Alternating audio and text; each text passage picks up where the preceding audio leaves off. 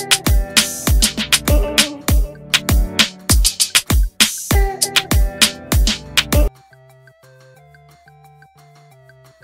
จารย์สมชายจี้ธนาธรต้องตอบไปเจรจา super deal หรือไม่ หวังเห็นทำการเมืองตรงไปตรงมาอาจารย์สมชายจี้ธนาธรต้องตอบไปเจรจา super deal หรือไม่ หวังเห็นทำการเมืองตรงไปตรงมาชี้ ถ้าไปจริงต้องอธิบายเหตุผล เป้าหมายการพูดคุยวันที่ 28 กรกฎาคม 2566 รองศาสตราจารย์สมชายปรีชาศิลปกูลอาจารย์ และหัวหน้าศูนย์วิจัยและพัฒนากฎหมาย คณะนิติศาสตร์มหาวิทยาลัยเชียงใหม่โพสต์ตั้งคำถามในเพจศูนย์วิจัย มหาวิทยาลัยหน้าบางแห่งหนึ่งความว่าธนาธรต้องตอบคำถามกรณีซูเปอร์ดีลในฐานะที่เป็นvoter คนหนึ่งกรณีเกิดคำถามว่าคุณธนาธรจึงรุ่งเรืองกิจประธานคณะก้าวหน้าอดีตหัวหน้าพรรคอนาคตใหม่ และผู้ช่วยหาเสียงพรรคก้าวไกลไปร่วมเจรจา super deal หรือไม่เป็นคำถามที่ต้องให้คำตอบอย่างชัดเจน เพราะการนิ่งเงียบหรือหลบหลีกไม่ตอบคำถามนี้จะสั่นคลอนต่อความเชื่อมั่นในแนวทางของพรรค นักการเมืองที่ผู้คนคิดว่าจะแตกต่างจากพรรคการเมืองดั้งเดิม ในฐานะพลเมือง ผมคาดหวังจะเห็นการทำงานการเมืองที่ตรงไปตรงมา ไม่ใช่การ เล่นการเมือง ที่ใช้การเจรจาแบบลับๆ นอกจากสายตาของสาธารณะ หากพรรคก้าวไกลจะไม่ได้จัดตั้งรัฐบาล คุณพิธาไม่ได้เป็นนายกรัฐมนตรี ข้อเสนอ 112 ต้องตกไปและอื่นๆ ก็ต้องทำให้เห็นว่าเป็นผลมาจากพลังอำนาจของฝ่ายอนุรักษ์นิยม และรัฐธรรมนูญที่วิปริต หากจะมีดีลลับระหว่างพรรคการเมืองอื่นๆ นั่นก็เป็นแนวทางที่ไม่ควรต้องเข้าไปแปดเปื้อนด้วย ถ้าไม่ได้ไปก็ต้องปฏิเสธให้ชัดเจนเพื่อให้ผู้คนมั่นใจว่าแนวทางการเมืองฝ่ายประชาธิปไตยยังคงเดินไปอย่างโปร่งใส ถ้าไปจริงก็ต้องอธิบายว่าอะไรคือเหตุผลอะไรคือเป้าหมายของการเจรจา แน่นอนถ้าเห็นว่าเป็นจังหวะก้าวที่ผิดพลาดก็ควรต้องยอมรับและเป็นบทเรียนต่อไปในภายภาคหน้า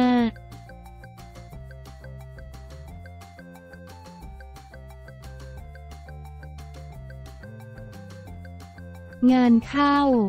ชาวเกาหลีดันแบนลิซ่าแบล็คพิงเหตุลือถอนตัวจากวงดราม่าเดือดสื่อเกาหลี เผยชาวเกาหลีเรียกร้องให้แบนลิซ่าเหตุลือถอนตัวจากวงแบล็คพิงแฟนคลับเสียงแตกฉากกันเอง ส่อลามทำผู้ลงทุนกังวลทั่วโลกกังวล สร้างความกังวลใจทั่วโลกกับคราวข่าววง girl group Blackpink จะสิ้นสุดสัญญากับค่าย YG Entertainment ในเดือนสิงหาคมนี้ ซึ่งก่อนหน้านี้สำนักข่าวเกาหลีรายงานการต่อสัญญาของสาวมากความสามารถอย่างลิซ่า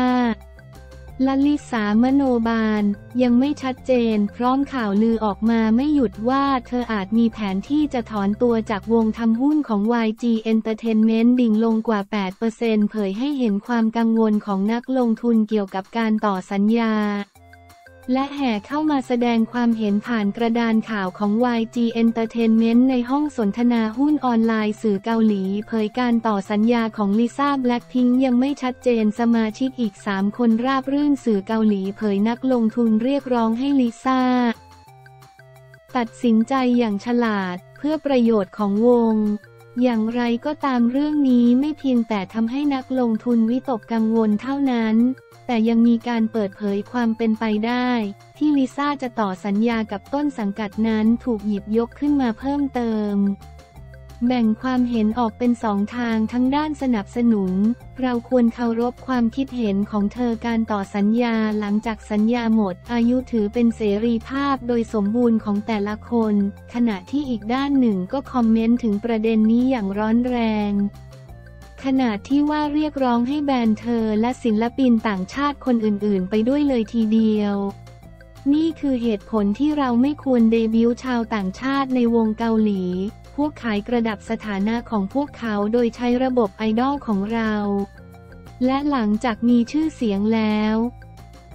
พวกเขาก็มักจะหลงกลจีนและแทงข้างหลังเราเสมอ นี่คือเหตุผลที่เราต้องระมัดระวังในการเดบิวต์เด็กฝึกต่างชาติทว่ายังมีการคาดว่าทิศทางอนาคตของ Blackpink จะตัดสินใจหลังจากการประกาศอย่างเป็นทางการว่าจะต่อสัญญาหรือไม่ ไม่ว่าลิซ่าจะยังคงทำงานในฐานะสมาชิกของ Blackpink ต่อไปหรือไม่นั้น ท้ายที่สุดแล้ว จะมีผลกระทบอย่างมากต่อทิศทางของวงในอนาคตอย่างหลีกเลี่ยงไม่ได้แน่นอน งานนี้เหล่าบลิงคงต้องจับตาดูกันต่อไป จนถึงวันหมดสัญญาในเดือนสิงหาคม 2023 ที่กำลังจะถึงนี้ที่มา Daily Network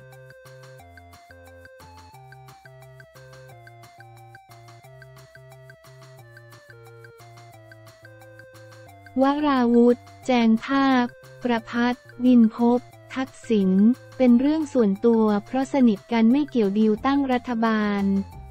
วราวุธ ชี้ ประพัฒวินอวยพรวันเกิด ทักษิณ เป็นเรื่องส่วนตัวเพราะเป็นเพื่อนสนิทกัน ไม่เกี่ยวกับดีลตั้งรัฐบาล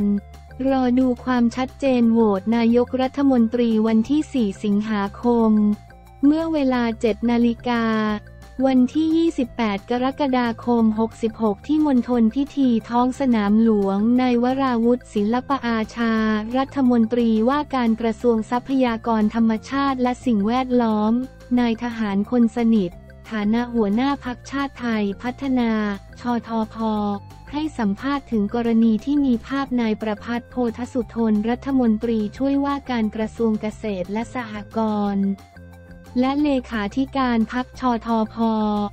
เดินทางไปอวยพรวันเกิดนายทักษิณ ชินวัตร อดีตนายกรัฐมนตรีที่ประเทศฮ่องกงนั้นทราบเรื่องนี้หรือไม่หรือว่าเป็นคนส่งนายประพัฒน์ไปเองว่าตนทราบเรื่องนี้เมื่อเห็นภาพปรากฏในสื่อแต่เมื่อถามว่าแปลกใจหรือไม่ นายประพัฒน์และนายทักษิณเป็นเพื่อนสนิทกันมานาน 30 กว่าปี มีความสนิทชิดเชื้อกันมาโดยตลอด ตนมั่นใจว่าการไปอวยพรวันเกิดและการไปพบกันครั้งนี้ ไม่ใช่เรื่องการเมืองแน่นอน ถ้าเกิดมีอะไรขึ้นมาตนก็ต้องเป็นคนพิจารณาก่อนยืนยันว่าการเดินทางไปครั้งนี้ของนายประพัฒน์เป็นเรื่องส่วนตัวไม่ได้ไปในฐานะเลขาธิการพักชอทอพอหรือว่าอะไรทั้งนั้นเมื่อถามว่าสอบถามเรื่องนี้กับนายประพัฒน์หรือไม่ นายวราวุธกล่าวว่าตนถามเพียงแค่ว่าลาราชการถูกต้องแล้วหรือไม่ ซึ่งนายประพัฒน์ระบุว่าลาราชการอย่างถูกต้อง ผู้สื่อข่าวถามว่านายประพัฒน์มาพูดคุยหรือไม่ว่าได้แลกเปลี่ยนเรื่องทางการเมืองกับนายทักษิณอย่างไร นายวราวุธกล่าวว่าตนไม่ได้ถามก็ทราบดีอยู่ว่านายประพัฒน์และนายทักษิณเป็นเพื่อนเก่ากันมานาน หลายครั้งในช่วงที่นายบรรหาร ศิลปอาชาอดีตนายกรัฐมนตรียังมีชีวิตอยู่นายประพัฒน์และนายทักษิณก็พูดคุยกันมาโดยตลอด เพราะเป็นเพื่อนกันมาก็ไม่ได้แปลกใจอะไรเมื่อถามว่าหากตัดสินใจอะไรต้องนำกลับเข้ามาในที่ประชุมของพรรคชทพใช่หรือไม่นายวราวุธกล่าวว่าต้องเข้าสู่คณะกรรมการบริหารพรรค กกบหก่อนและผู้ใหญ่ภายในพักต้องมีความเห็นไปในทิศทางเดียวกัน เมื่อถามว่านายประพัฒน์ไม่ได้บอกใช่หรือไม่ว่ามีการเคลียร์อะไร นายวราวุธกล่าวว่าไม่ได้มีตนก็ไม่ได้ถามด้วยมั่นใจว่าไม่มีอะไรถ้ามีอะไรกกบหและนางสาวกัญจนาศิลปอาชาประธานที่ปรึกษาหัวหน้าพักชทพ ก็ต้องมีส่วนร่วมในการตัดสินใจผู้สื่อข่าวถามว่าภาพที่ออกมาเหมือนนายประพัฒน์ไปดีลการจัดตั้งรัฐบาล นายวราวุธกล่าวว่า ไม่มีหรอกครับ เพราะเมื่อวันอาทิตย์ที่ผ่านมา ตนและนายประพัฒน์ก็ยังไปพักเพื่อไทยพอทอด้วยกันอยู่เลยพอมาวันอังคารแล้วมีภาพปรากฏอย่างที่ทราบ หากมีอะไรก็คงคุยกันจบที่พักพอทอ แล้ว เมื่อถามว่าในวันที่ 4 สิงหาคมนี้ในวันมูฮัมหมัดนอมทา ประธานรัฐสภาที่นัดโหวตนายกรัฐมนตรีแล้วพักชอทอพอตัดสินใจในเรื่องนี้อย่างไรนายวราวุธกล่าวว่าต้องดูความชัดเจนก่อนว่าพักใดจะเสนอใคร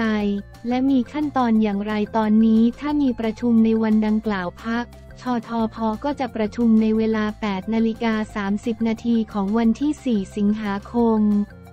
เหมือนอย่างที่เคยทำทุกครั้งเมื่อถามอีกว่าหากเสนอชื่อนายกรัฐมนตรีจากคนของพรรคพอทอจะสนับสนุนหรือไม่นายวราวุธกล่าวว่าเงื่อนไขของเราก็มีจุดยืนเดิมไม่เปลี่ยนแปลง ดังนั้นก็ต้องดูองค์ประกอบว่าจะสนับสนุน งดออกเสียงหรือไม่สนับสนุนอันนี้ต้องรอดูองค์ประกอบเมื่อถามย้ำว่า